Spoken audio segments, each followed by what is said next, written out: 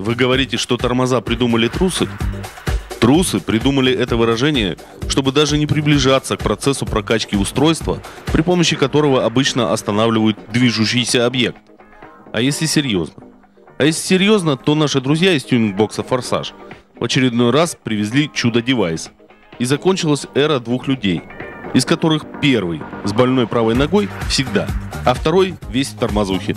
За нашей спиной характерный свист и тарахтение. Что-то работает. А, меняем тормозную жидкость. Буквально за полчасика сейчас все поменяем тормозную жидкость, без всяких прокачек, без э, накачки правой и левой ноги, тормозную пе- педаль тормоза. Потом еле-еле вылазишь из машины, такого у нас больше не будет. Спокойненько по аппаратик подключили, 20, максимум 30 минут, и все, э, полностью систему все поменяли. Это, по-моему, ноу-хау. Я такого нигде не видел. Ну, не знаю, ноу-хау нет, просто мы решили приобрести это оборудование для того, чтобы как бы, более качественно этим делом заниматься. Вот. И машины любого типа, с АБС, без АБС, без разницы. Сейчас не надо прыгать на яму. И вообще, как бы я смотрю, даже следов тормозной жидкости нигде не видно. Не капает.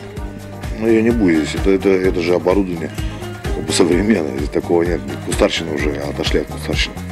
Стали более цивилизованно работать.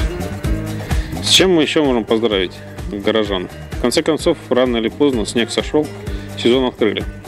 Что будем ожидать от этого сезона? Э, ну, наш клуб, э, наш клуб Магрейс, он готовит машины на выездные соревнования. Но у нас здесь в городе, как обычно, по воскресеньям будем гонять. То есть любительские гонки, может быть, даже турнирчик организуем. Э, Как отзовут спонсоры, которые обещали все с позапрошлого года, по-моему, к нам присоединиться. Вот, э, может быть, дождемся и организуем турнирчик э, с приглашением э, спортсменов других городов. То есть более, ну, охота городу показать серьезный автомобиль. Потому что у нас есть, конечно, хорошие машины, но то, что есть в Екатеринбурге, в Уфе, в Челябинске, ну, у нас таких машин пока нет.